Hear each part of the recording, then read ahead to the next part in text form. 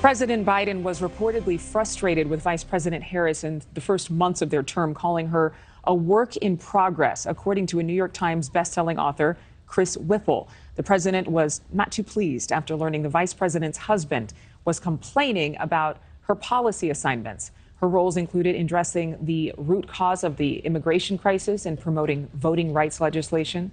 Uh, there's a quote from the book we want to share with you. It says Biden was annoyed. He hadn't asked Harris to do anything he hadn't done as vice president, and she'd begged him for the voting rights assignment. Let's talk a little bit more about uh, this book with Julia Manchester, national political reporter for The Hill. Uh, so you'll recall early last year there was a lot of reporting uh, that said that Vice President Harris was put in a difficult spot politically, being put in charge of the border. Uh, but now this new book appears to confirm that Vice President Harris really saw it as dangerous. What are your thoughts, or what do you know about that? Yeah, Adrienne, it's interesting. And I wouldn't say it's surprising to see some tension between any vice president and the president over issues like this. But it absolutely is a tough spot to be in politically, especially when we know the extent of the issue at the border crisis at the border and how much is needed to, you know, be done down there. There are many that would say that this is something that extends far beyond the vice president. But look, I mean, a lot of I think the tension you hear about out of this White House, um, you know, you're going going to continue to hear about this in a number of books. And you've seen the White House really push back on this, saying they weren't approached for comment and such. But, you know, I think this is normal to uh, hear about this tension between a vice president and a president. It's interesting here to know that these uh, two were in a Democratic primary with each other, like so many other past presidents and vice presidents are. There was clearly tension in that primary. And we're seeing that really apparently, purportedly, carry over into their day to day jobs there has been a lot of uh, reporting of competing camps, the president's allies versus the vice president's team. I know that a number of people actually departed uh, from uh, Vice President Harris's team over the past uh, several months. But where does the relationship stand now? Are these tensions completely in the past, as the book claims?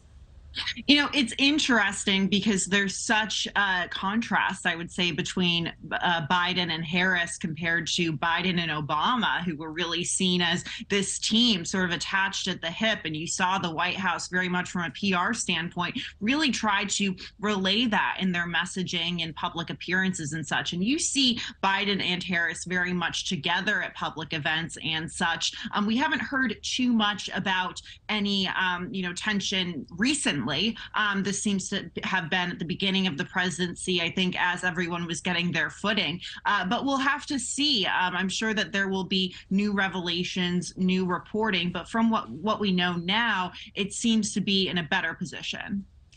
The RCP average finds President Biden's approval at just over 43%. Vice President Harris's approval is right around 35%.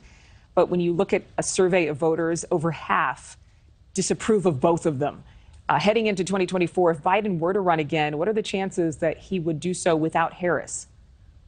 You know, it's hard to say because Biden and Harris, um, you know, breaking with a vice presidential, uh, vice president pick going into a reelection bid would be a risk, especially when she is someone who is seen as a historic pick and represents so much for women, people of color. Um, so it would definitely be a tough decision for Biden to have to go forward. But I think there's also, without her, but I think there's also the question of whether Biden will run himself. He has said, and the White House has affirmed, he will definitely run again again, but there's the legitimate question about his age. There's the legitimate question about, you know, what others in his party um, think about him when it comes to getting more progressive ideals pushed through Congress and pushed through the White House. So, you know, it's unclear what's going to happen now, but there is an argument that, you know, essentially says that the Democrats performed so well in the midterms under Biden, sort of defying that conventional wisdom because Republicans had just god awful, terrible candidates. So if Republicans Republicans really